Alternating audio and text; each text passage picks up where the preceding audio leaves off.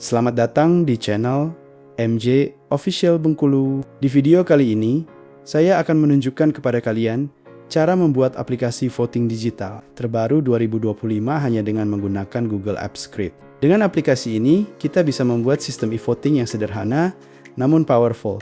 Cocok digunakan untuk pemilihan OSIS di sekolah, voting, kegiatan, kampus, organisasi, komunitas, bahkan acara kecil lainnya. Yang menarik, aplikasi ini 100% gratis, tidak perlu bayar server tambahan, dan langsung bisa diakses secara online. Data voting akan otomatis tersimpan di Google Sheets, jadi lebih aman, transparan, dan mudah dianalisis. Untuk mendapatkan password script gratis ini cukup nonton dari awal sampai akhir, jangan di skip karena nanti akan ada password muncul di bawah video.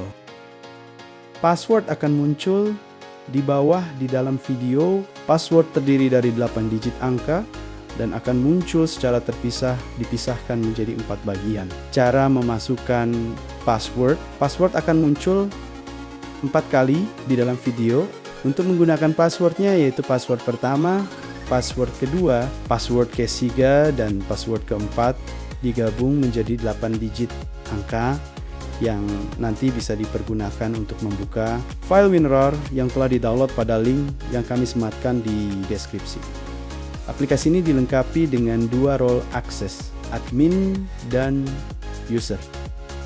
Di sini admin bisa menambahkan kandidat yang nantinya akan ditampilkan pada nama kandidat yang akan di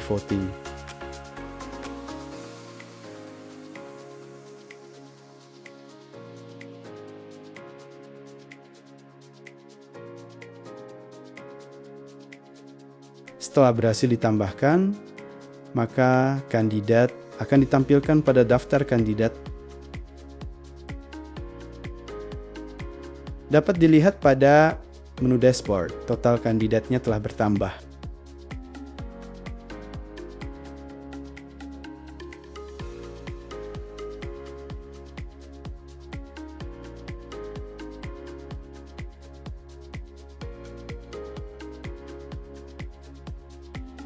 Sekarang kita coba lakukan voting.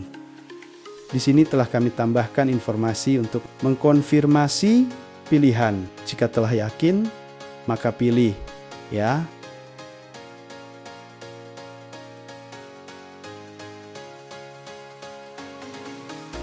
Voting berhasil dilakukan dan status tombolnya sudah berganti menjadi sudah memilih yang menandakan untuk satu user hanya bisa memilih satu nama kandidat.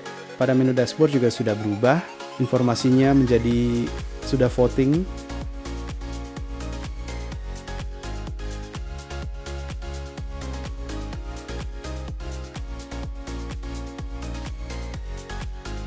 Hasil dan analisisnya juga berubah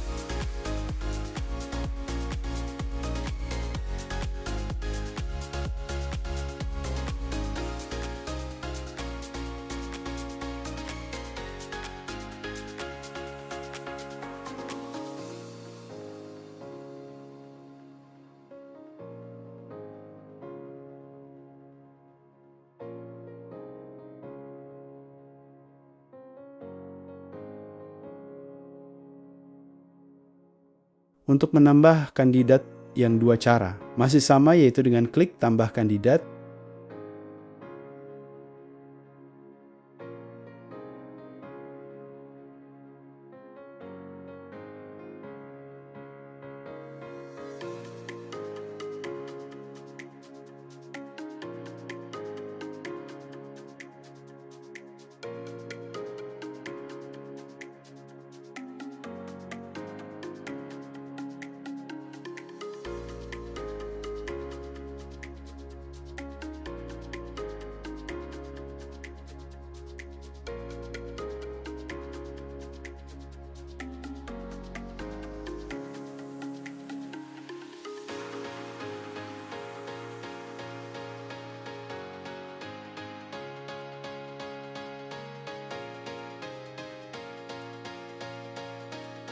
Kita coba untuk menambahkan user baru untuk melakukan voting.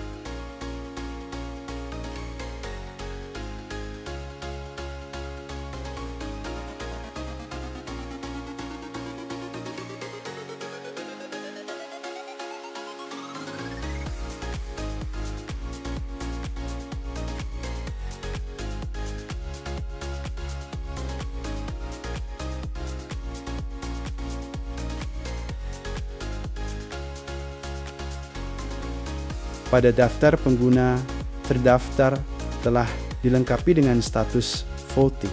Jadi, admin bisa mengetahui siapa saja yang telah melakukan voting dan yang belum voting.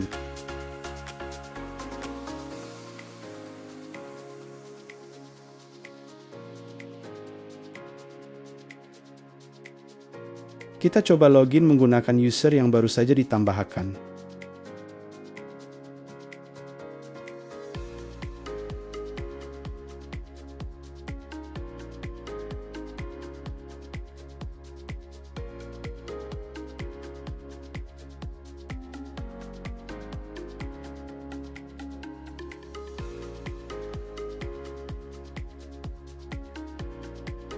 Dapat dilihat bahwa user ini statusnya belum melakukan voting.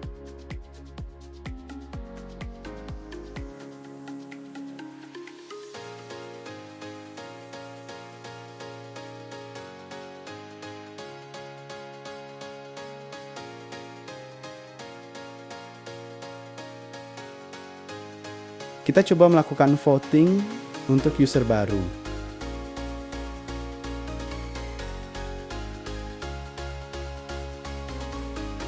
Voting berhasil dilakukan.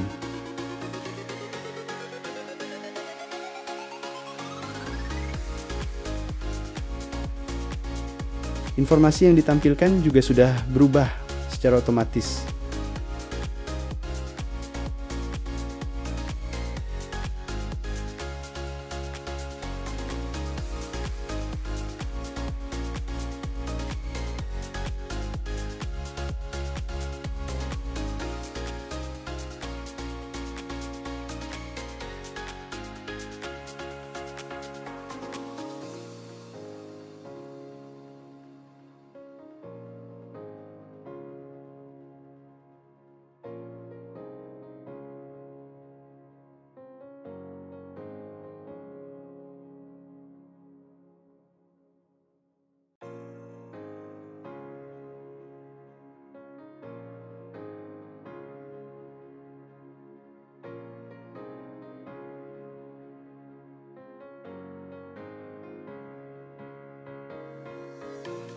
Sekarang dapat dilihat persentasenya dari dua kandidat hasilnya sama-sama mendapatkan pertama suara dengan jumlah persentase 50%. Status votingnya juga sudah berubah menjadi sudah voting.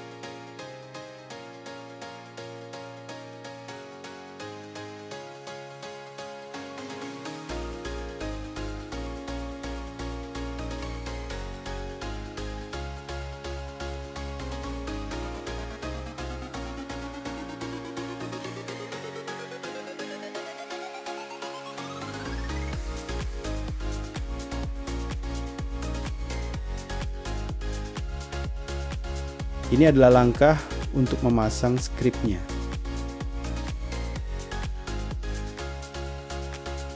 Dengan menambahkan spreadsheet baru atau bisa langsung upload Excel yang telah ada di dalam Winar.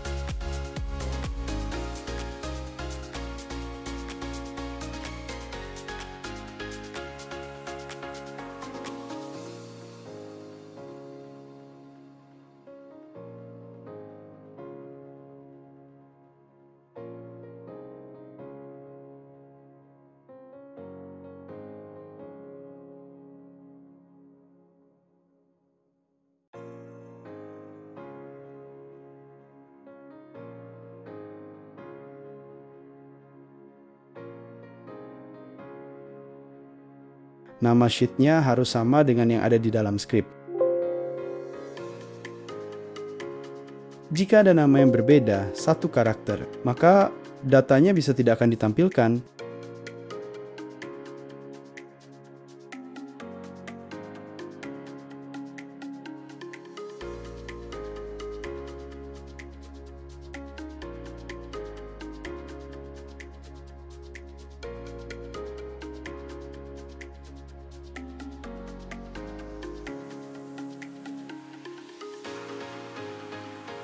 Jika menggunakan Excel yang ada di dalam WinRAR, maka ubah menjadi formatnya, menjadi spreadsheet dengan cara memilih. Simpan sebagai Google Spreadsheet.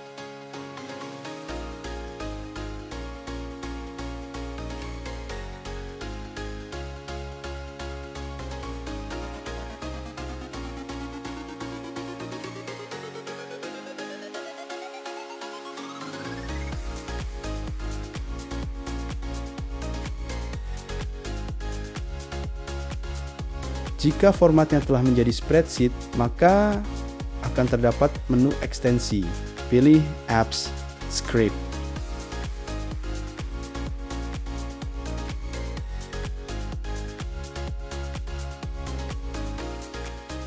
Salin dan tempel semua isi kode JS yang ada di dalam WinRAR ke tempat ini.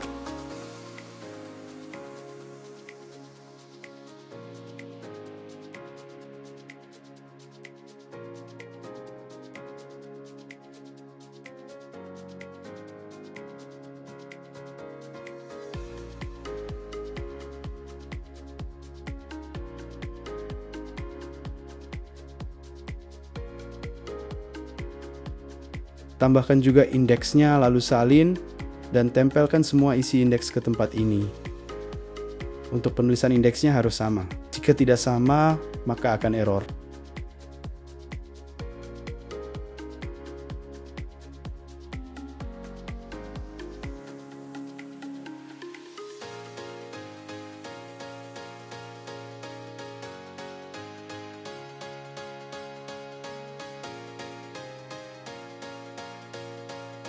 Jangan lupa untuk menyimpannya dengan mengklik gambar save. Spreadsheet ID-nya ini harus disesuaikan dengan ID spreadsheet masing-masing. Karena setiap spreadsheet mempunyai ID yang berbeda-beda.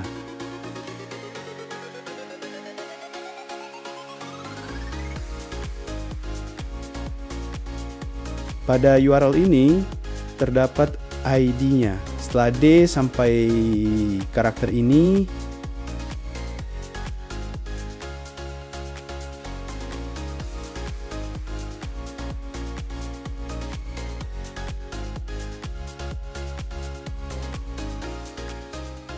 Untuk folder ID-nya juga harus disesuaikan dengan ID folder masing-masing.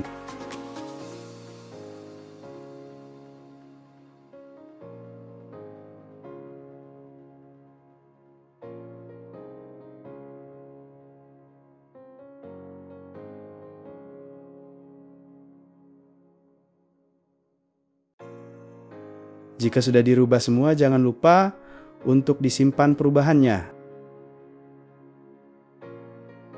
Untuk menjalankan aplikasinya, pilih deployment baru. Ikuti langkahnya sesuai yang ada di video ini.